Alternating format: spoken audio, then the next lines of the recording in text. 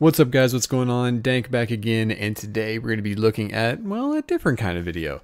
So, I've always wanted to get a new player guide going, help my friends out that are starting out the game to kind of get an idea of what they need to be doing. So, with that being said, here it is. I, I hope you guys find something useful. So, as you can probably guess by the title of the video, we're going to be looking at the shop and the orders part. Uh, I'm going to be taking, you know, just bits of the game, you know, chunk by chunk, and with each video, maybe a couple subjects, you know, kind of going forward like that. But let's start it off by going through the, the shop and like what you can actually do there since a good portion of the game is basically summoning for characters. So starting out over in the character portion, there's always, always a different kind of banner going on. And by banner, I mean a certain selection of characters that are featured uh, visually on the actual banner. Now you can flip left and right to, you know, see the particular characters that are featured. And you can also click the information eye to see the fillers if there are any. Um, it also displays the character's attributes, their stats, all the information about the characters, um, as well as their power-up materials in case, you know, you want to take them to six star level 200, then you will definitely need to, you know, do a little bit of research on the characters and, and what they need to power up. But without getting too much into that, let's go ahead and just dive right into the character part. Now, there are different kind of banners, and with each kind of banner, there are, you know, kind of not necessarily rule sets, but they're kind of loose guidelines as far as what uh, KLab likes to do with them. So starting off, you have mid-month banners, normally around the middle of the month, as they're so aptly named, and they are for new characters, brand new characters. They have no filler characters, so you are guaranteed to get one of the new ones whenever you summon on this banner, and more than likely, the uh, chance of a five star is going to be three percent. Now, there's always room for change. KLab can always switch it up in the middle of the month, and you know, if if I'm wrong about one or any of this, I mean, feel free to correct me. Uh, I'm just going off of memory and uh, past experience, but uh, generally mid months are those kinds of uh, stipulations. New characters only, no fillers, 3% chance for 5 stars. Now, moving on to the end of the month, also called EOM, uh, you have more new characters, but instead of just being just the new ones, there are now fillers. And these fillers are generally sometimes newer release characters, sometimes older release characters. Uh, there's usually a mix of both relevant and not so relevant characters in the mix with the end of the month summons.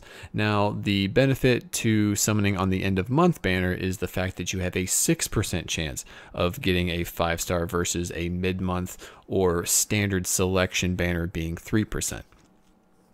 Now, usually the end of the month will have some pretty strong characters in there. Um, the past few have been really, really impressive. So, uh, as this time of this video, we still don't know what January of 2018's end of month is, but um, after seeing the uh, Blood War characters come back uh, I can only hope that there's something delicious around the corner. Uh, moving on, you have your standard selection type summons, and uh, we actually have one of those active right now, being the extreme co-op selection for technique. Um, normally, there's one of these going on uh, almost all the time, whether it be attribute based selection, killer based selection, or specific mode based selection, such as this particular extreme co op one. Uh, there are no fillers. You are only able to get the characters that are actually on the banner. There's usually anywhere between three to five characters, and they're generally 3% chance. Uh, I, I can't remember any particular other one that are uh, more than 3% but they might be kind of special releases. So we'll get into that shortly. But uh, the next one down would be seasonal banners. Now, we don't have any active right now. However, you can almost take uh, this Thirst Summon, the Blood Warfare, also known as the Thousand Year Blood War Summon, as something akin to seasonals. Now they come out or have came out uh, within about three months of each other, kind of similar to seasonal like Christmas, Valentine's Day, Halloween, so on and so forth. And uh, these generally have new characters as well as fillers and they can range anywhere from 3 to 6%. Um, depending on the actual banner and the the length of the banner. Um, as you see right here with the Thirst Summoned, it's valid from the 19th to the 31st of January. Uh, the seasonal ones can range as well, so just keep an eye out on that. And like I said, they're generally around 3 to 6% depending on the uh, particular banner. And uh, lastly, you have special releases. Also, you can consider the Thousand Year Blood War arc uh, characters, uh, you know, of special releases as well.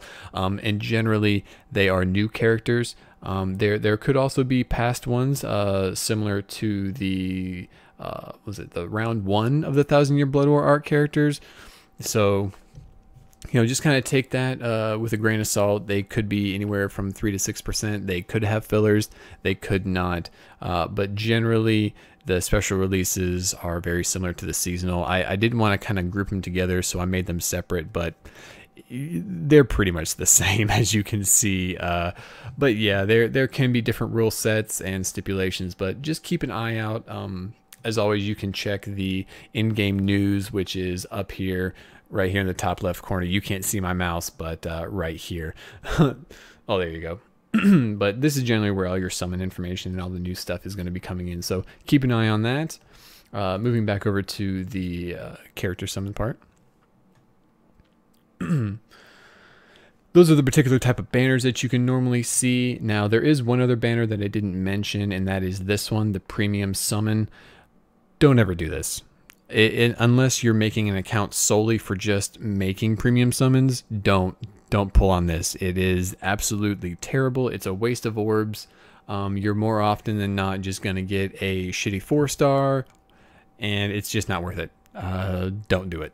Save your orbs for an actually good banner. And then at the very, very bottom, you have the spot for tickets. Now, tickets come in a variety of flavors.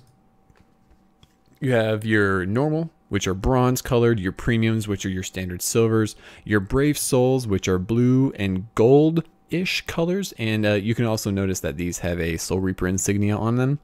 The four and five star tickets are gold, and the five stars are full on rainbow colored. Now, the five star also comes in different flavors as well, uh, depending on the holiday that's around. They may have a certain five star selection ticket that you can buy, and it'll have a certain group of characters that are more than often, you know, pretty good and you know you could buy that or if they're feeling super generous KLab can give them away but those are the certain kinds of character summon tickets that you can acquire in the game. And of course there's always room for improvement. They could add more tickets. They could you know do different things with the existing tickets. But this is uh, the information that we have now. If uh, again if i'm missing anything guys feel free to you know let me know in the comments. But Generally, you'll be getting these tickets through various ways of playing, whether they're from your orders, from uh, grinding out events, event drops. Like there's just a, a, a, ton of ways to acquire these tickets. Um, the the premiums in Brave Souls being probably the most prevalent that you'll see. Uh, definitely premiums. Uh, you get a whole bunch of those. So uh, the, the, chance of a five star on most of these is pretty low.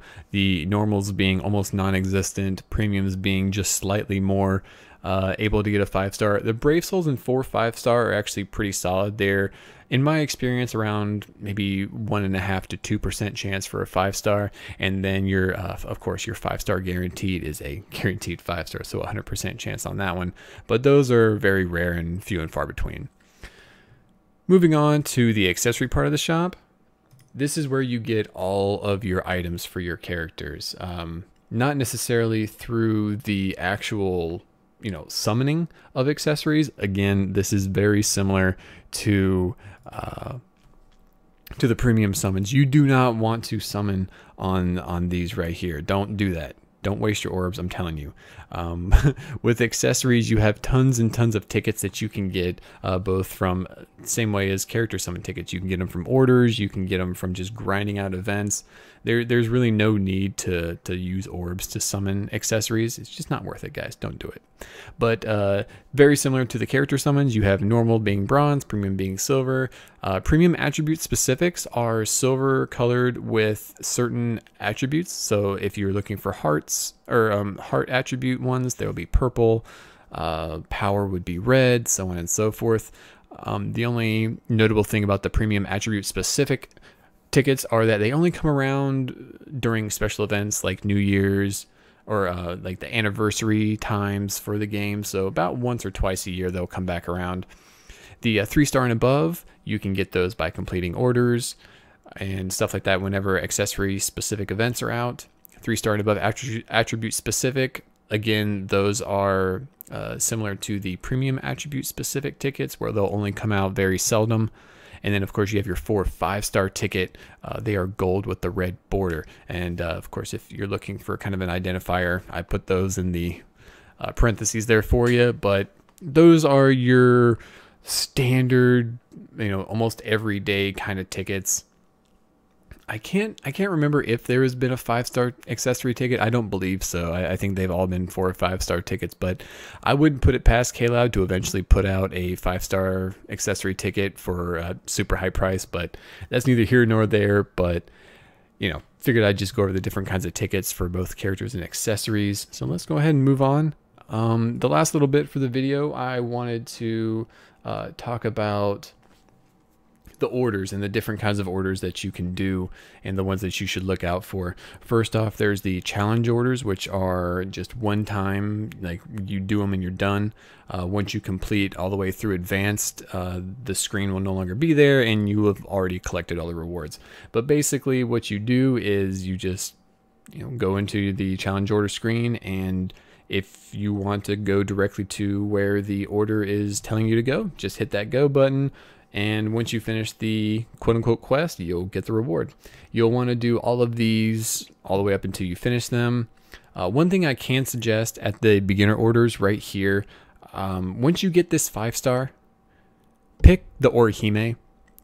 she's she's one of the very few healing units that, uh, or the the healing link units that are going to be able to be somewhat useful in the end of the game most, if not all, the other characters are just not even really worth it for the most part. Um, I mean, heal links won't necessarily be super end game, but they will help you get from the very beginning up until that like middle end stage of the game. So definitely get you the orange mind Orihime, and trust me, you'll, you'll be better off. Um, and you definitely want to complete these. You want to focus on these for the first part of your, you know, playtime. Knock them out as fast as you can. Get the characters. Get you know all the rewards. It's good stuff. And then the last little bit for the video, we talk about the you know regular everyday every week kind of orders. You have four different kinds. You have daily, weekly, free, and event based orders. Whenever something new comes out whenever you have like a new event, there will be like a little new thing pop up, and definitely want to go check it out and see what they can give you. Uh, most of the times, they are very, very, very, very good rewards. Like for instance, you have Brave Soul tickets, Hogyoku's, Spirit Orbs, you know, standard summon tickets. More Brave Soul, t- like these are definitely things that you want to be doing uh, whenever they're available. Uh, and of course, you know, be sure to do your dailies every day. They reset every day at around uh, right now, at least as, uh, as time of this recording, it's about 10 a.m. my time for Eastern. But once daylight saving times go back, then uh, it'll be an hour later. But for now, yeah, you definitely want to get them done because the more dailies you do, the more weeklies you get to complete. Um, they all have timers and they are they're all right down here in the bottom right hand corner. So you know, be sure to keep an eye on those. Weekly orders do give huge rewards like Hogyoku's wills, lots and lots of coins, uh, hearts, which are used to power up your accessories, fat stacks of tickets, and Hogyoku's sometimes. And of course, um, when you have kind of special weekly orders, you can get summon tickets that are kind of special for like, for instance, this one's for the Thousand Year Blood War summon, and yeah, they're pretty cool. You know, nice little added bonuses. Uh, the free orders are going to be your kind of general account achievement based orders. Um, you'll knock a lot of them out at the very beginning of your game. So, you know, just or grab them whenever you can. Make sure to, you know, knock them out as much as you can because there, there's some good stuff in there too. And of course, like I have already went over with the events, this this is the meat right here. This is the one you really want to focus on. This tab, Uh, make sure you, you knock those out before the event expires because you'll have to wait until the next time it comes out, and who knows whenever those are going to come out. But uh, definitely, definitely do those whenever you have spare tickets from uh, after you're completing your dailies and all that kind of stuff. So with that being said, guys, I tried to keep this video under 20 minutes, and I think I did a pretty decent job. So, well, uh, let me know if there's if there's anything I missed, if there's anything that uh, you guys would want to see. Let me know down in the comments. I know probably a lot of veteran players are gonna be like, "Dank, what the heck, man? No, nobody nobody cares about this stuff," and you're probably right. But there might be somebody out there somewhere that is just now starting and is looking for you know some reference stuff. So here we go. But uh, if you stayed this long, man, I really appreciate it. I hope you guys enjoyed. If uh, if you did like it, hit that uh, like button, throw a comment down there. Let me know what you think. But uh, thanks so much for watching, guys. And until next time, we'll see you later. Peace.